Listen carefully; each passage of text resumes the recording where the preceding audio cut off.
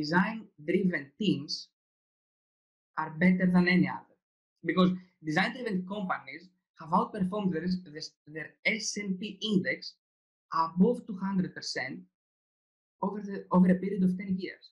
And also, above all those things, 50, 46% of those organizations put the customer first. And this is a very good thing because they have managed to create an emotional bond with the customers and they have the ease to actually practice at designs and test those designs in advance before those designs are going to production.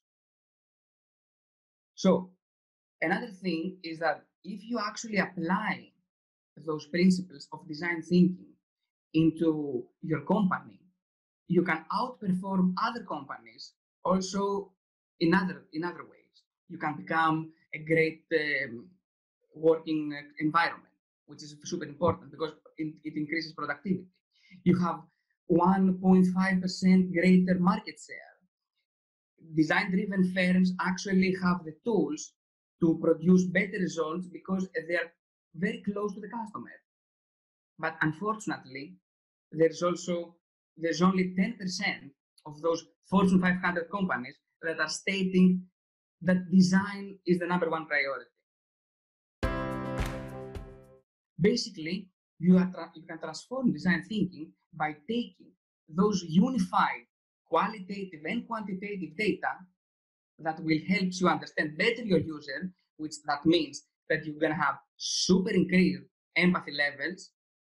And then as a result, for all your design, for all the designers, we can produce better data-driven designs and better data-driven testing with those designs. And then we can reduce the time of those constant loop of reiterating and reiterating and reiterating product. So in this course, we will stay in the first part of the design thinking process, the empathize. So here, we will cover how you can empathize with users and how you can understand them. Let's, let's define a little bit quickly what empathy means and what empathy is on user experience. On user empathy in general is the ability that someone has to understand and identify another person's situation or feelings. That's very good.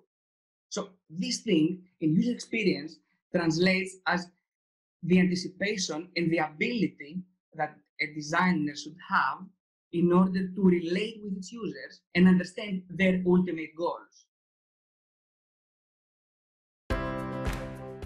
We can do that by simply establishing a context of, of users. We need to understand how the users interacting and how they are using our product in their work life.